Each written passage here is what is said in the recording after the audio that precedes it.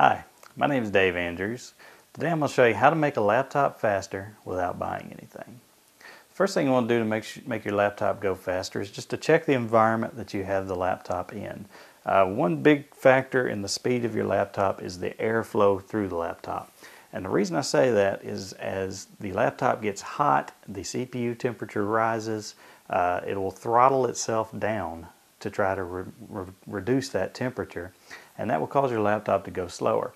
So you'll want to keep your laptop in an area that has good airflow, that way it can stay cool. Now I'm going to show you some tips actually on the desktop.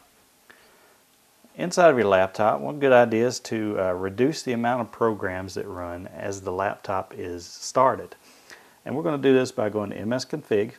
You click on your Start button, and in the little search here, you go to M type MS Config and press Enter.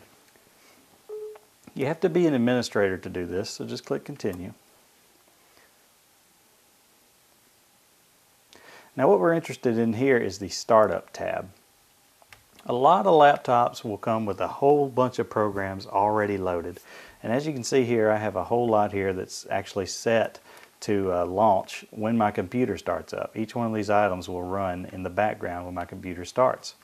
You can just disable some of these uh, you can probably disable the majority of them if you know it's something that you don't want. And that'll keep that program from running, which would use resources that will slow your laptop down. Just click Apply to make the changes and click OK. It's going to ask you if you want to restart. I'm going to say no.